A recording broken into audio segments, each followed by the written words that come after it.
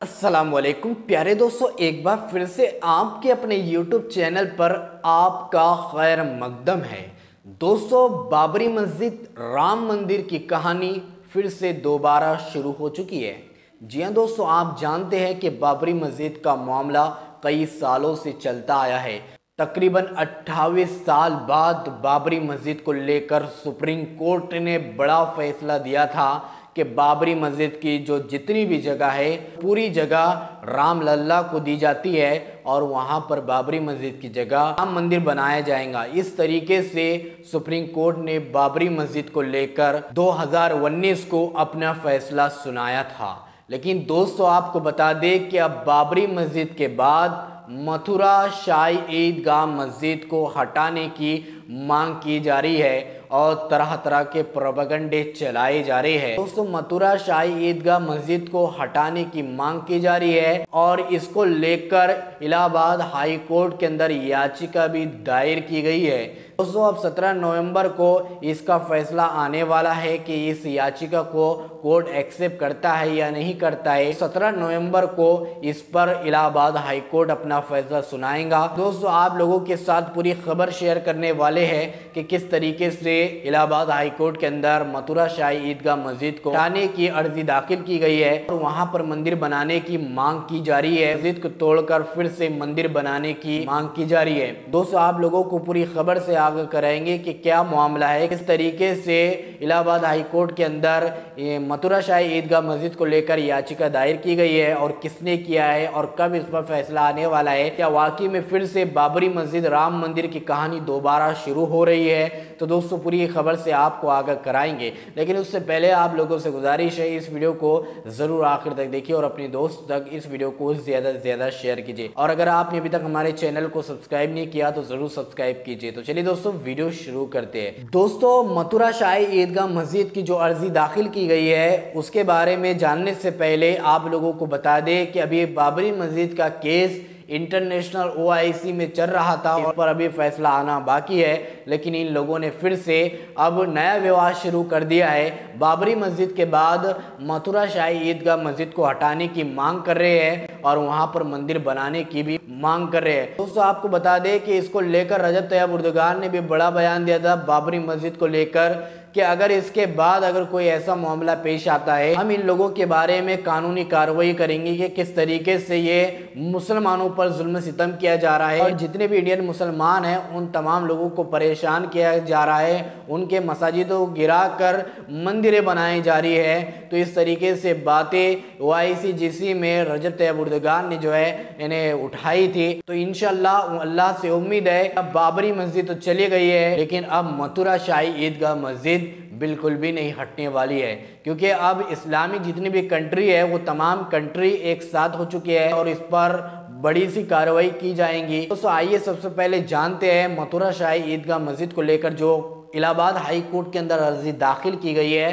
पूरा मामला क्या है? इस तरह से इस याचिका में बातें बयान की गई है? मस्जिद को तोड़कर मंदिर बनाने की बात बयान की गई है। और किस वकील ने इलाहाबाद हाई कोर्ट के अंदर याचिका दायर की है, पूरी जानकारी इस वीडियो में आपको सुनने को मिलेंगे। आइए दोस्तों, पूरी खबर पर नज़र डालते हैं कि पूरा मामला क्या है। दोस्तों, श्री कृष्ण जन्मभूमि, तनाज़ा हाई कोर्ट पहुँचा। शाही ईदगाह मस्जिद को तोड़कर मंदिर बनाने का मुतालबा।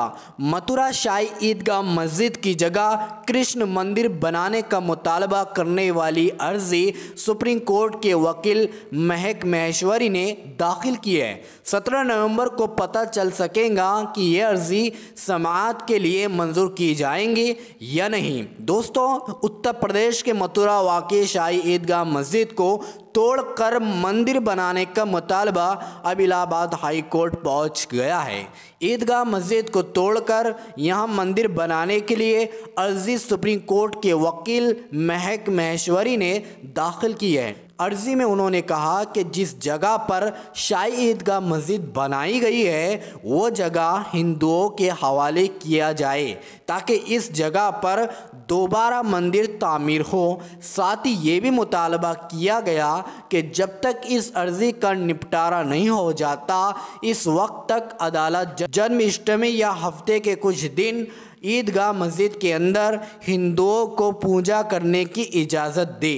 मीडिया जराए से मौसिल हो रही खबरों के मुताबिक महक महेश्वरी ने अपनी अर्जी में अदालत से कहा कि वो हुकूमत को हिदायत दे कि अदालत निगरानी में मुतनाज़ जगह की खुदाई हो और इसकी रिपोर्ट अदालत में सौंपी जाए। अर्जी दहिंदा के मुताबिक जिस जगह पर अभी ईदगाह मस्जिद है, वो जगह दरअसल जेल थी, जहाँ भगवान श्री कृष्ण की पैदाइश हुई थी। इस अर्जी में मुल्क में मौजूद मजहबी मकाम की शक्ल 15 अगस्त उन्नीस के वक्त जैसी बनाए रखने की सहूलत वाले कानून प्लेस ऑफ़ वर्शिप एक्ट उन्नीस को भी चैलेंज पेश किया गया। यहाँ गौर करने वाली बात यह है कि इलाहाबाद हाई कोर्ट में आज से तातुल हो गई है और अब 17 नवंबर को अदालती काम होगा। इसलिए अब इस बात का पता 17 नवंबर को ही चल पाएगा कि अर्जी को समात के लिए मंजूर किया जाता है या नहीं। लेकिन मथुरा की मुतनाज़ ज़मीन हिंदुओं के हवाले करने और शाही ईदगाह मस्जिद को हटाकर वहाँ मंदिर बनाने का मुतालबा करने वाली इस अर्ज़ी ने एक बार फिर लोगों को ये सोचने पर मजबूर कर दिया कि बाबरी मस्जिद राम मंदिर वाली कहानी दोबारा शुरू हो चुकी है।